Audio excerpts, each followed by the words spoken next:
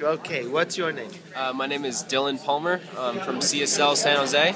Ah, you've got that crazy minister. I do have the Yeah. crazy Yeah, minister. we said that earlier. Crazy. Yeah. It, It, it rubs takes off one too. to Yeah, know yeah, one. It takes one to know one. That's for sure. and, and you just participated in what workshop?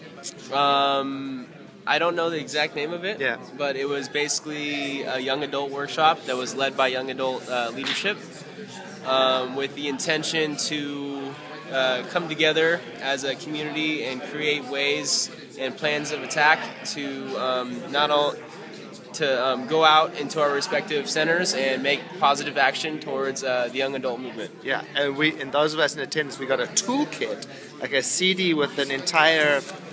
Um, Yes, we did get a, um, a young adult toolkit that was put together. It's backwards because it's recorded, but yeah, it's a toolkit that was put together by young adult leadership.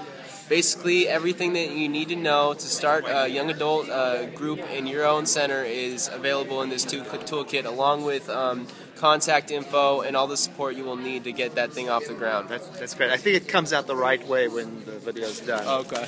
And this this is the card that gives you the address of the web page over Yeah. there, and also the Facebook address. Yeah.